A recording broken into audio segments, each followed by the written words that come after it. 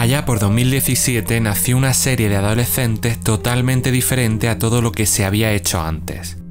La premisa era sencilla. Una chica llega desde Nueva York a un pequeño pueblo donde todos esconden secretos. Pero esa premisa ha dado lugar ya a cinco temporadas de una de las series más exitosas de los últimos años. Así que en este vídeo te resumo Riverdale, temporadas 1, 2, 3, 4 y 5.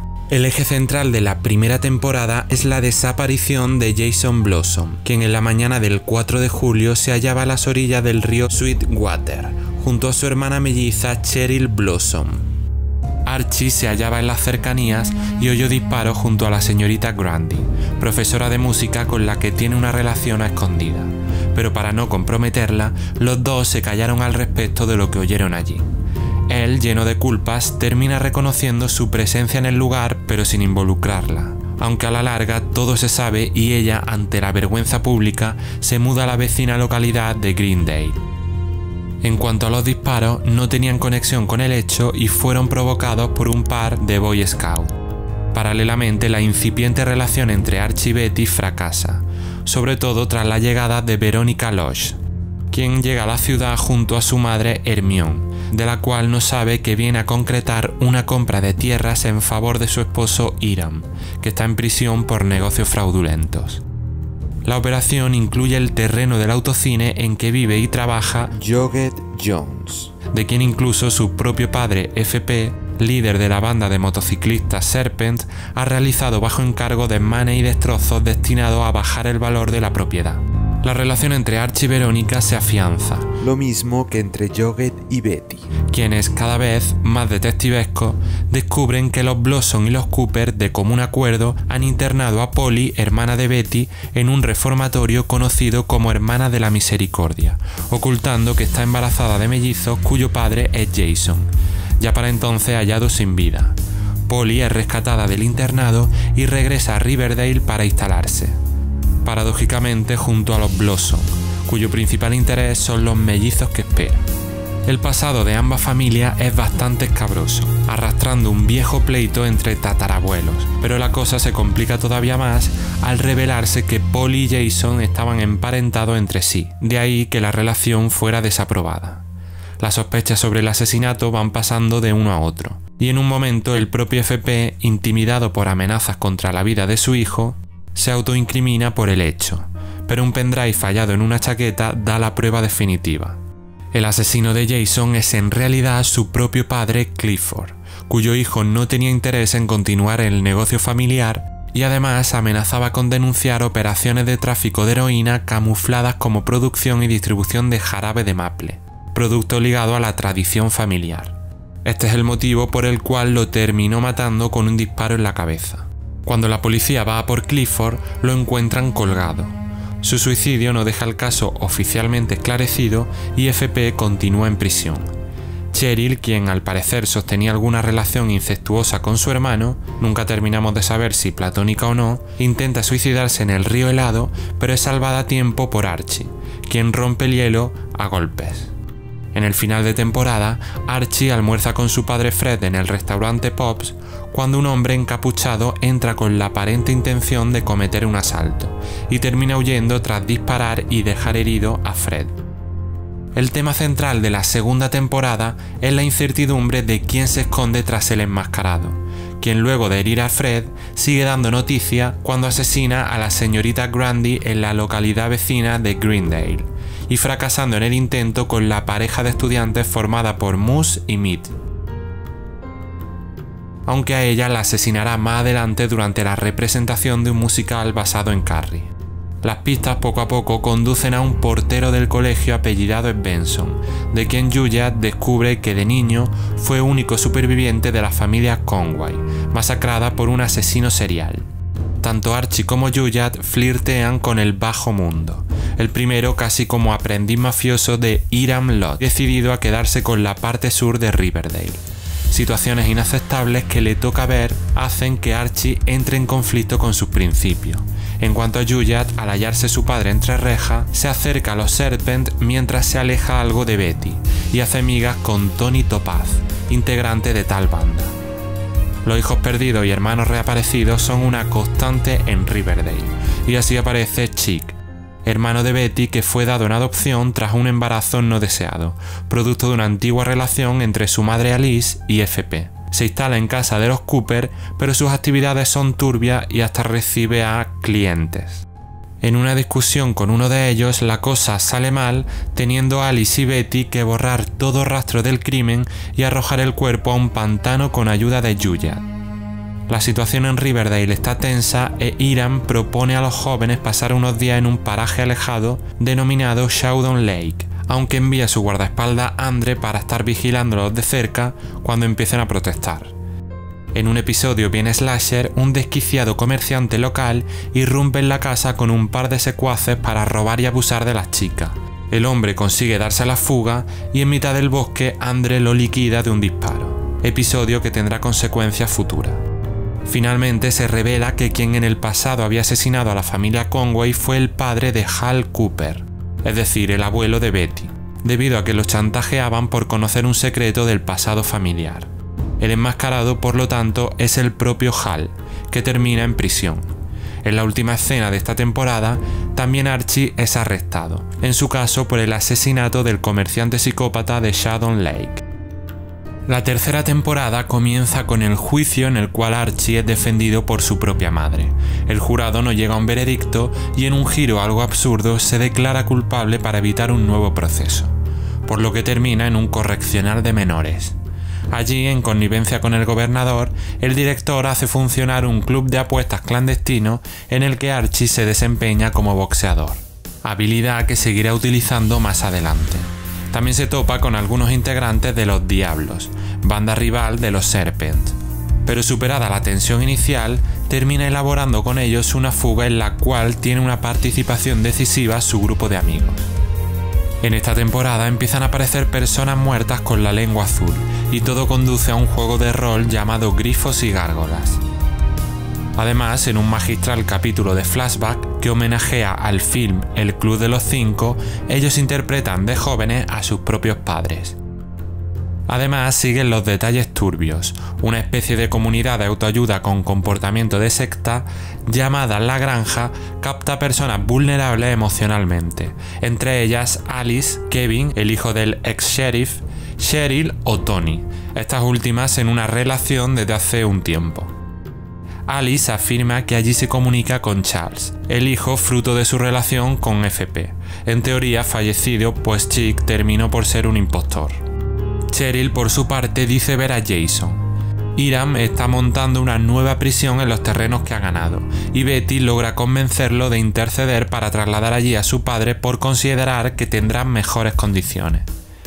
En el traslado ocurre un accidente y Hal es dado por muerto, aunque se trata de un truco del hombre para escapar, cosa que Betty no sabía, y luego acabará descubriendo que está vivo y actuando de nuevo como el enmascarado. Pero es que hay más todavía. Trabaja en asociación con el rey Gárgola, quien termina siendo Chick, el hijo impostor. Este acaba en prisión y Hal muerto de un tiro en la cabeza por Penelope Blonson, madre de Cheryl. En cuanto a la granja, era una organización para extraer y traficar órganos de los internos. Hay quienes convencían de que sufrir dolor físico durante un par de días les ayudaba a evacuar dolores emocionales. El matrimonio Lodge termina en prisión. Él porque su hija Verónica entregó al FBI documentación que destapa maniobras turbias y ella por intento de asesinato contra su propio marido. La temporada termina con que era cierto que Cheryl veía a su hermano, pues en su mansión tiene su cuerpo, ya que Julia descubrió que la tumba estaba vacía. La temporada 4 comienza con el episodio más emotivo de la serie, en el cual Archie recibe la noticia de la muerte de su padre en un accidente. Se trata de un recurso argumental de los productores debido a la muerte del actor Luke Perry, pero que permite a los actores expresar su dolor de un modo que no da impresión de estar actuado.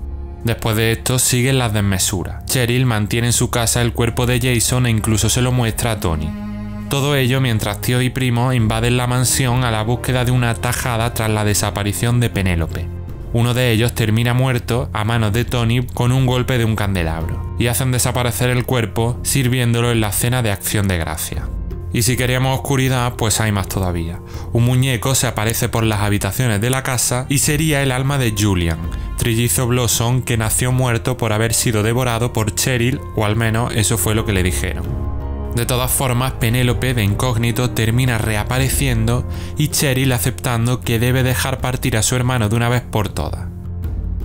Hasta tendrá su momento de gloria animando al equipo de fútbol junto a las Vision, en una memorable versión de Sherry Boom que está en la cima de los momentos musicales de la serie. Pero lo central de la trama transcurre en Stonewall, instituto al cual Juliet fue convocado supuestamente para perfeccionar sus habilidades como escritor. El clima que allí encuentra es bastante espeso y muy tipo Agatha Christie. A poco de llegar, el director Shipping se suicida arrojándose por una ventana. En ese lugar se escribe desde hace varias décadas una exitosa saga literaria titulada Los Hermanos Baxter, cuyos autores van cambiando con el tiempo, pero el siempre detectivesco Juliet descubre que la misma fue iniciada por su abuelo y literalmente robada por Francis Dupont, nuevo director. Los flash forward se alternan con la línea de tiempo principal mostrándonos que Juliet será asesinado, lo cual termina ocurriendo una noche en el bosque y la culpable es aparentemente Betty, por hallarse junto a él con una roca ensangrentada en la mano. Pero en esta serie ningún muerto lo está del todo. La propia Cheryl en un guiño de autoparodia dice nadie muere en Riverdale. Todo fue armado por DuPont, quien instigaba a su alumno a cometer el crimen perfecto como prueba para entrar al círculo de escritores. Así eliminaba a los testigos del robo de la saga. Pero tras descubrir a Betty junto al yaciente Juliet, Archie y Verónica se percatan de que sigue vivo. A partir de ese momento, representarían la farsa de que está muerto para hacer caer así a la organización de DuPont. Como parte del engaño, Betty y Archie fingen iniciar una relación, pero ello revive la atracción mutua que sentían desde la infancia, introduciendo un nuevo elemento de conflicto sentimental. Descubierto su plan y asediado por la familia de Juliet, incluido su medio hermano Charles, Dupont se termina arrojando por la misma ventana que su predecesor. En cuanto al matrimonio Lodge, está en libertad, teniendo en ello mucho que ver Hermosa, medio hermana de Verónica. Más sorprendente aún es que renueven sus votos matrimoniales. Iram, de todos modos, no está bien y sufre una enfermedad muscular degenerativa. Archie da sus primeros pasos con su banda, The Archies. Pero siguen los problemas. Un anónimo viene enviando durante un tiempo a la familia de Riverdale filmaciones de sus propias casas para luego pasar a escenas actuadas con enmascarados que reproducen algunos de los asesinatos cometidos. En el colegio, el director Honey se opone a la realización del baile de graduación, lo cual pone en pie de guerra al alumnado y lleva a que sus padres lo presionen para cambiar de opinión.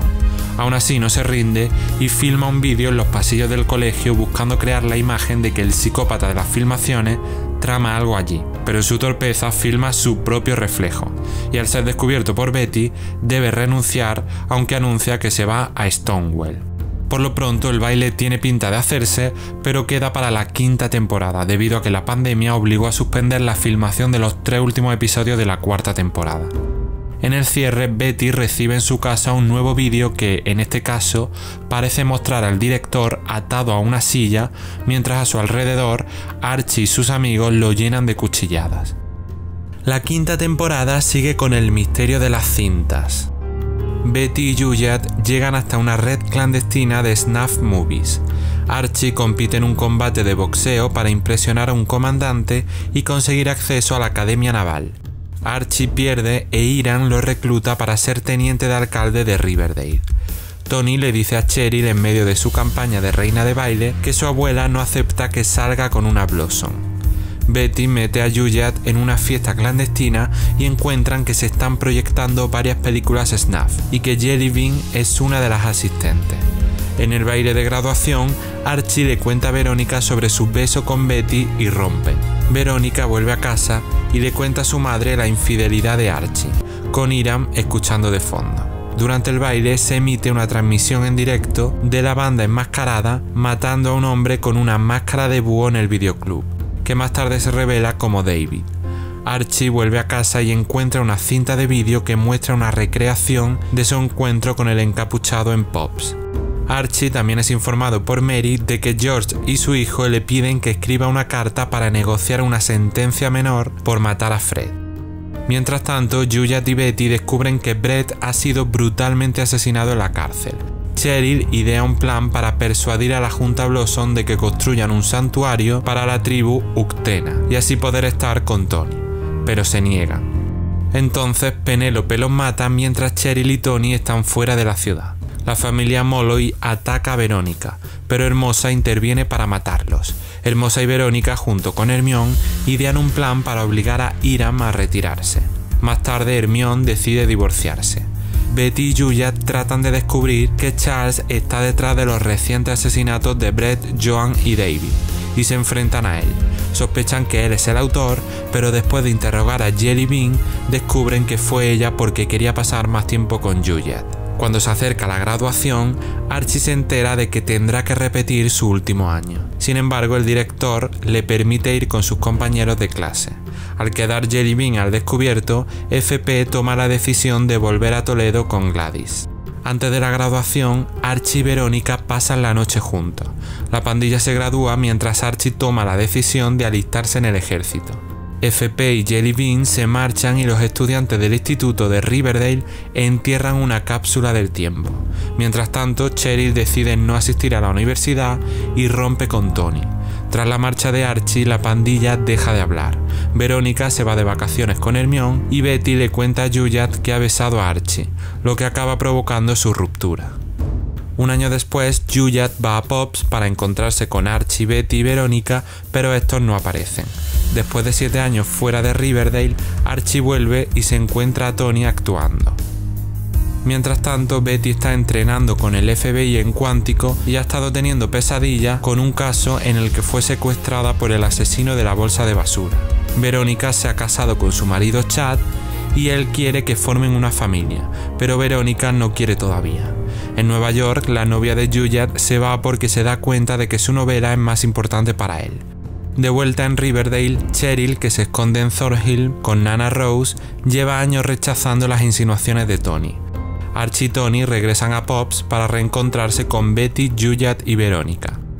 La pandilla pronto se da cuenta de que el Instituto Riverdale está en peligro de perder su financiación debido a que los profesores y alumnos se están yendo a Stonewall. Archie convence a Betty, Juliet y Verónica para que se conviertan en profesores temporales en el Instituto Riverdale y así poder mantenerlo abierto. Más tarde el instituto es privatizado, siendo financiado por Cheryl. Betty vuelve a casa para encontrar a Alice y a los gemelos, pero se tropieza con Polly entrando a hurtadilla a alta hora de la noche. Polly afirma haber estado trabajando en un club nocturno, pero Archie la ve con un grupo y sospecha que está consumiendo drogas. Polly, que se ha marchado tras pelearse con Betty, se ve perseguida por un camión. Archie y Betty, junto con alguna de los Serpent, allanan la casa de Andrews y encuentran pruebas para enviarlos a la cárcel. Betty y Archie limpian el desastre y acaban teniendo sexo en la ducha. Juliet quiere trabajar y le pide a Tabitha ser camarero en Pops. Verónica se pelea con Chad por seguirla y congelar sus cuentas bancarias. La pandilla comienza así su primer día como nuevos profesores del instituto de Riverdale. Polly lleva varios días desaparecida tras perseguirla al camión. Betty y Alice siguen una pista del camionero y encuentran las pertenencias de Polly en el arcén de una carretera abandonada. Alice, Betty y Kevin rastrean el móvil de Polly que le lleva a un descubrimiento en un pantano. Mientras tanto, Archie pide a Verónica que financie el equipo de fútbol. Verónica busca abrir una joyería en el antiguo Blue Velvet Video. Tabitha ayuda a Juliet con su libro y lo lleva hasta un anciano que le cuenta cómo sus amigos fueron abducidos por unos extraterrestres conocidos como los hombres búho, que viven en los bosques de la carretera abandonada. Betty, Alice y Kevin llevan a la morgue un cuerpo que han encontrado en el pantano. El doctor no puede identificarlo y Betty sospecha que es el de Margaret, una mujer que desapareció hace años. Sin embargo, el cuerpo de Margaret es encontrado varios días después. Mientras tanto, Verónica trata de construir su joyería y a la vez a canalizar el dinero hacia la economía de Riverdale. Juliet y Tabitha siguen investigando a los hombres búho y descubren que Nana Rose ha mantenido el cadáver de uno de los hombres búho en un barril de arce durante varias décadas. Revisan el cadáver en la cocina de Pops, donde Juliet ve una luz brillante fuera.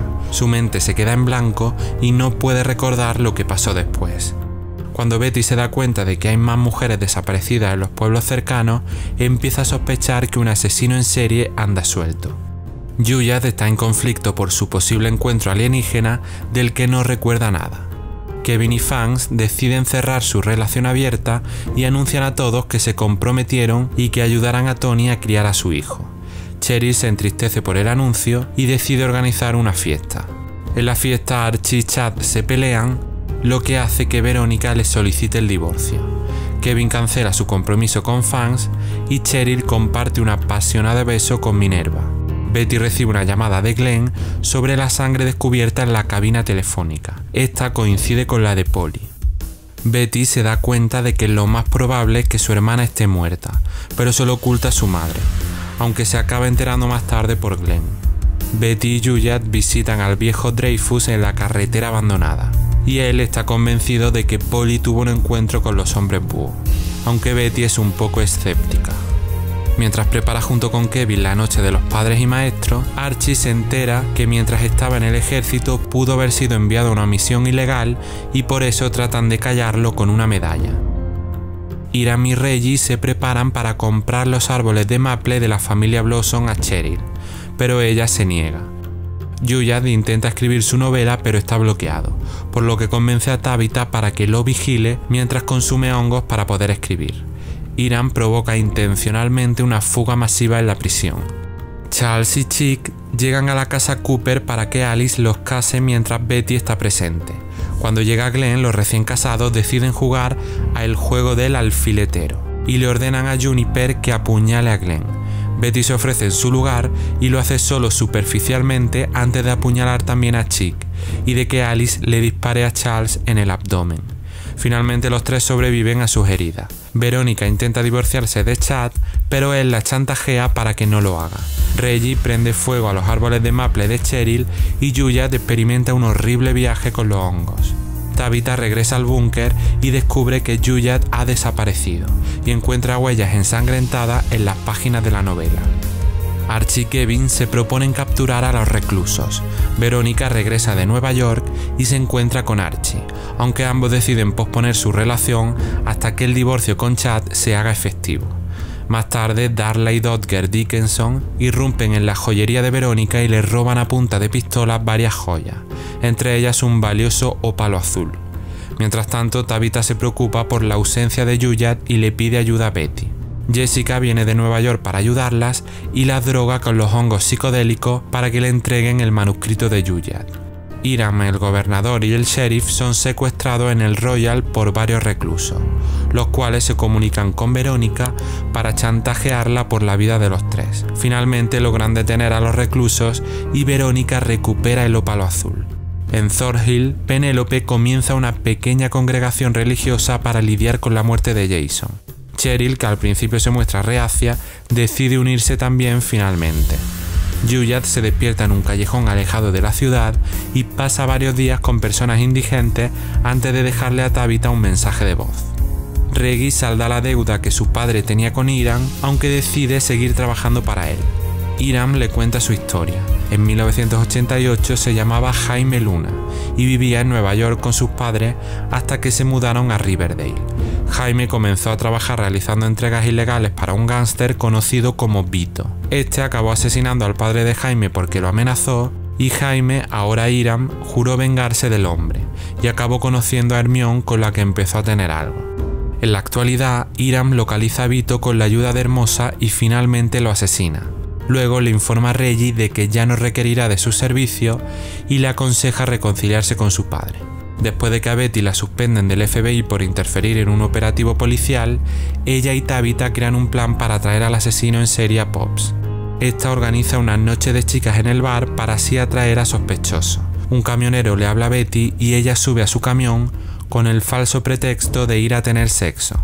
Tabitha rastrea mientras tanto su ubicación. En un momento el camionero trata de matar a Betty con una motosierra, pero ella logra dejarlo inconsciente. Tabitha le dice que deben entregarlo al FBI, pero Betty se niega y decide mantenerlo como rehén, ya que podría conocer la ubicación de Polly. Archie busca justicia para los hombres que perdieron la vida bajo su mando en el ejército y Verónica se vuelve creativa para recuperar su estabilidad financiera, haciendo movimientos contra Chad y contra su padre con la ayuda de Reggie y Cheryl. Después de regresar a Riverdale, Juliet se disculpa con Tabitha y Betty. Mientras la fecha límite para presentar su libro se acerca, Juliet descubre que Jessica tiene su manuscrito. Decide no ir a verla y entrega a su agente el trabajo de Cora, el cual hace pasar como propio. Sin embargo, luego se arrepiente y se lo confiesa a su agente, por lo que acaba siendo despedido. Con el divorcio de Verónica inminente, Iram le da a Chad la oportunidad de matar a Archie, pero falla. Mientras tanto, Kevin deja el ministerio y una explosión en las minas pone a prueba la relación de Cheryl con su fe. Verónica amenaza a su padre por causar la explosión en las minas y poner en peligro la vida de Archie. Chad ataca a Verónica en el Pinbrook, pero ella lo mata en defensa propia. Por otro lado, Julia y Betty descubren que un grupo de personas, que resultan ser Blossom ilegítimos, han estado viviendo en el bosque durante dos generaciones, con el viejo Dreyfus y el camionero capturado por Betty. Brita, una estudiante de Tony, se escapa después de revelar a su familia su orientación sexual, por lo que Tony pide ayuda a Betty y Juliet para encontrarla. El trío inspecciona el depósito de chatarra del viejo Dreyfus con Fangs y Tabitha, donde rescatan a Brita y descubren al grupo de hombres búho. El viejo Dreyfus admite los asesinatos y le dice a Betty dónde está el cuerpo de Polly. Alice lucha por hacer frente a la muerte de Polly, pero culpa a Betty por su muerte. Y Archie y Verónica finalmente se separan porque creen que es lo mejor para los dos. Tony y Fang se declaran su amor, y Tabitha consigue llevar a Juliet a una cena con sus padres, y los dos deciden así comenzar una relación juntos. En el capítulo final de la quinta temporada, la pandilla entierra las cenizas de Polly en el cementerio, y Betty se gradúa con el título de agente especial del FBI. Verónica promete echar a Iram de una vez por todas después de que provocara un incendio en Pops, que provoca que Julia y Tabitha quemen la oficina para vengarse. Cheryl se entera de que un antepasado suyo fue quemado por los antepasados de Juliet, Archie y Betty, y exige que se disculpen en el foro de la ciudad. Verónica y Riggy reavivan su historia de amor al igual que Betty y Archie, que cuando están a punto de tener relaciones en la habitación de Archie, una bomba cae debajo de la cama. Mientras Iram se aleja, se ve a lo lejos como la casa de Archie está envuelta en llamas.